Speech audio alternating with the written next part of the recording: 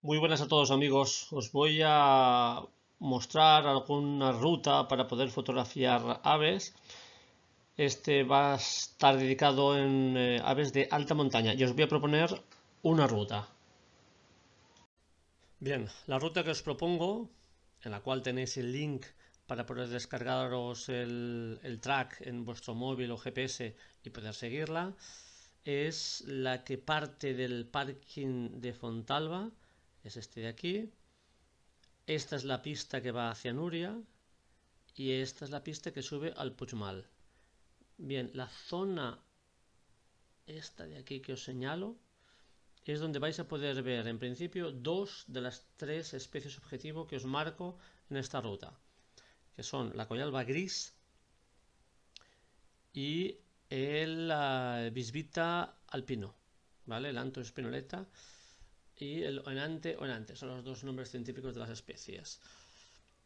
Tenemos aquí dos opciones. Si hacemos toda la ruta, subiremos hacia el Puigmal y bajaremos hacia Nuria.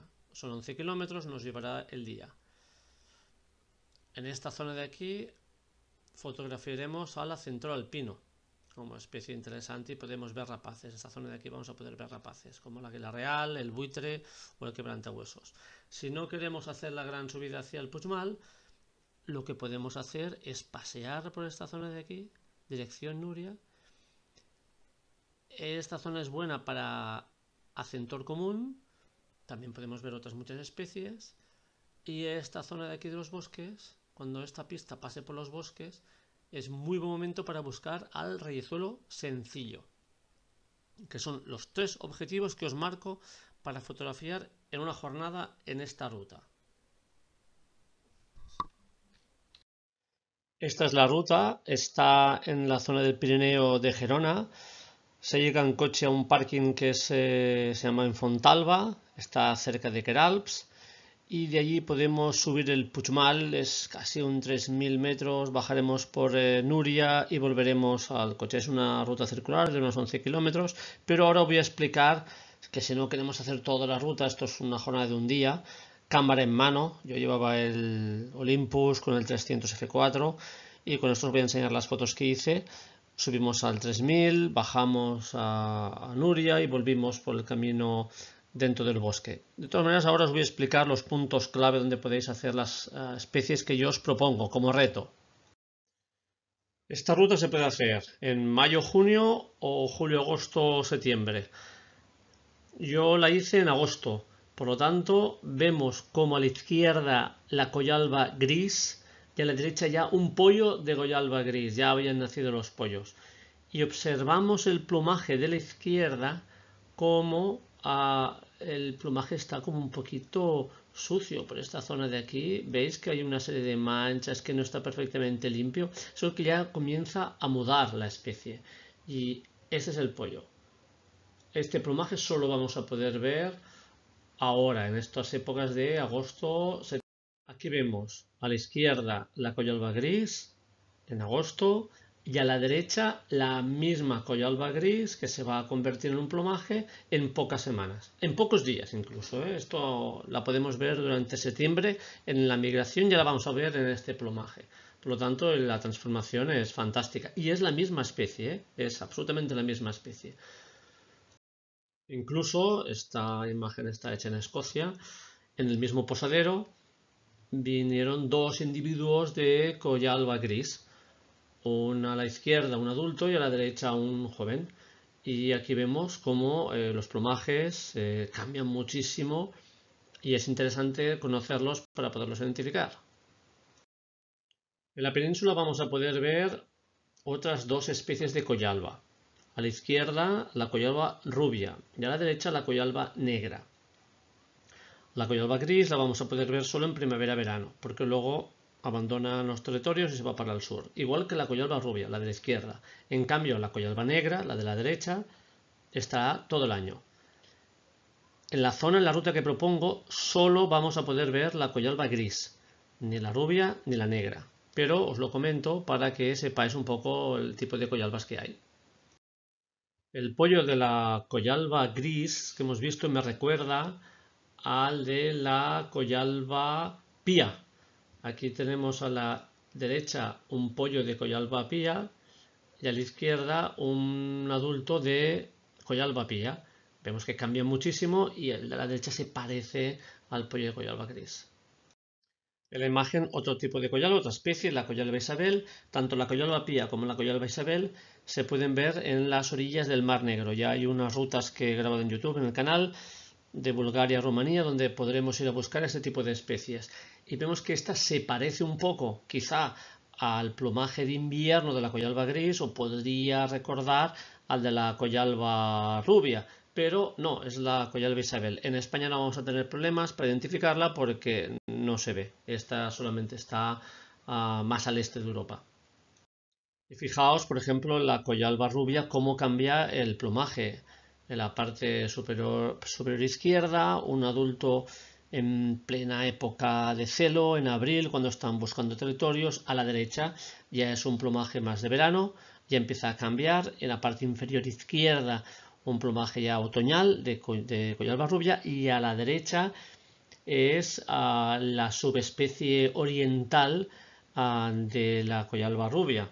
Eh, la, especie científica sería Ovenante hispánica y eh, la subespecie sería la melanoleuca.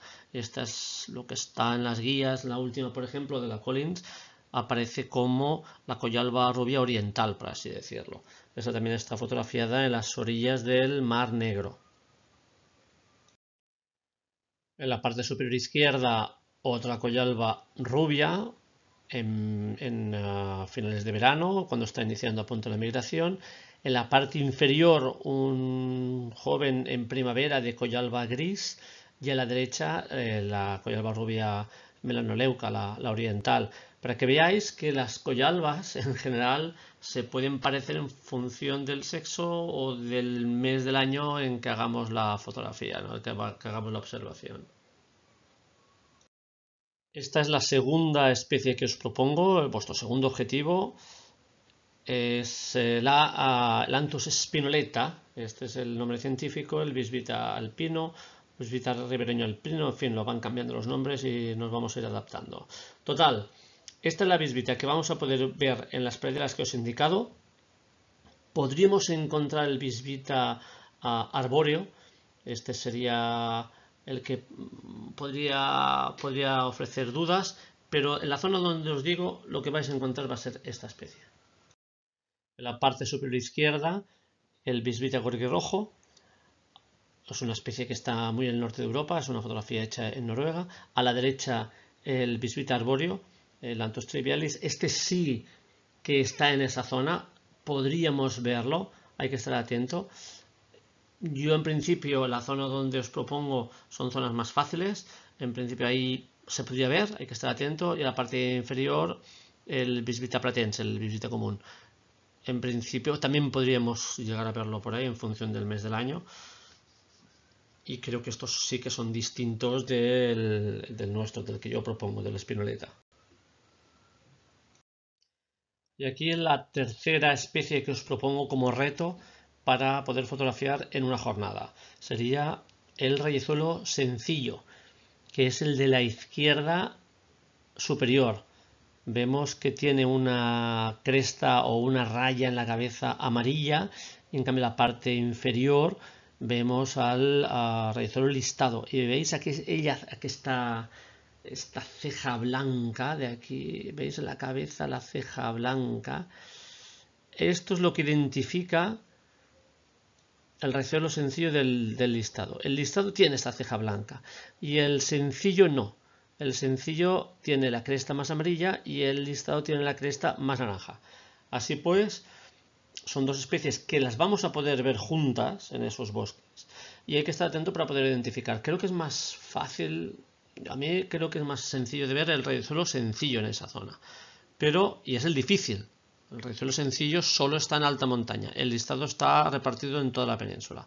Por lo tanto, estamos en una zona muy localizada para ver una de las especies eh, difíciles para ver, que es el rayozuelo sencillo. En la ruta vamos a poder ver y fotografiar estas dos especies. Son los dos tipos de acentores que podemos ver en la península el de la izquierda el acentor alpino. Esta fotografía está hecha a 3.000 metros de altura, bueno, 2.900 y pico, justo al lado de, la cruz de la cima del Puigmal. Está creando una pareja, este año, el 2019, crió una pareja allí, en la parte inferior vemos el pollo, que estuve viendo cebas, eh, estuve viendo cómo, iba con los dos pollitos que tenía, los dos, los dos adultos iban cebando los pollos. Muy bonita la imagen y puede fotografiar alguna escena de ese tipo. Y en la parte derecha vemos el acentor común. A esta especie la vamos a poder ver en esos pinos achaparrados que veremos en el camino justo después del coche. Allí vamos a poderlos buscar y camino hacia Nuria. Creo que es eh, relativamente fácil de ver el acento común, o sea que yo creo que no vamos a tener problemas. El acento alpino vamos a tener que subir. Mm, este sí que lo vamos a... Esto se va a quedar solo para los valientes que suban arriba. Y los que no, pues eh, nos vamos a tener que conformar con el acento común. Así que acentores vamos a ver seguro. Además del acento alpino, a 3.000 metros de altura, pues se pueden eh, fotografiar rapaces. En esta zona del Puigmal se puede ver el buitre leonado muy fácil, el quebrantahuesos o el águila real. Y bajando vamos a estar atentos para poder hacer otro tipo de paseriformes. Hay pardillos, pero el verderón serrano también es fácil de ver. Así pues, os hago esta propuesta para hacer esta ruta. Si tenéis más propuestas, pues eh, me lo hacéis saber y miramos a ver otras rutas para ver según qué especies.